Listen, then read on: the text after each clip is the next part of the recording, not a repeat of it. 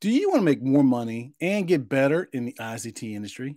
Then join us and get ready to learn more about structured cabling and staying up to date with the latest trends and developments in copper and fiber design, installation, certification, estimation, even project management.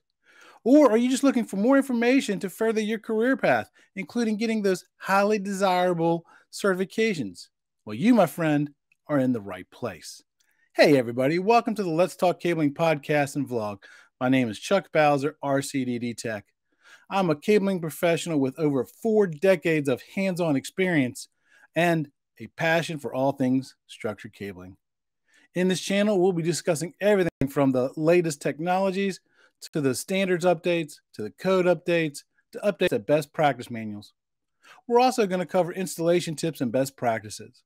So, whether you're a beginner or even an experienced cabling pro, you are going to find valuable information here.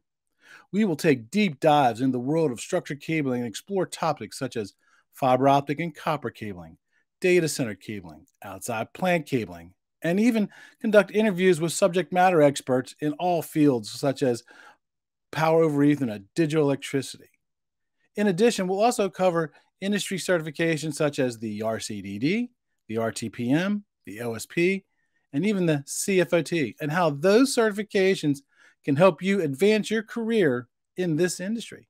So do it right now. Hit that subscribe button, hit that bell button to be notified when new content is being created, and we'll see you along this cabling journey.